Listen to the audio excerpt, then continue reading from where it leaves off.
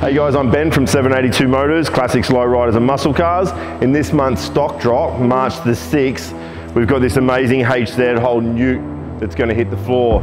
Uh, this car runs a tough 350 Chev. It's got dart heads, uh, Edelbrock inlet manifold, 650 Holley, MSD, uh, comp cam. Uh, it's bolted up to a turbo 350 automatic trans with a Stawley and it's got a 9 inch rear end. We're going to kick this one in the guts, let you have a listen to it. She's a fun one, another one that we're super proud to be showing you.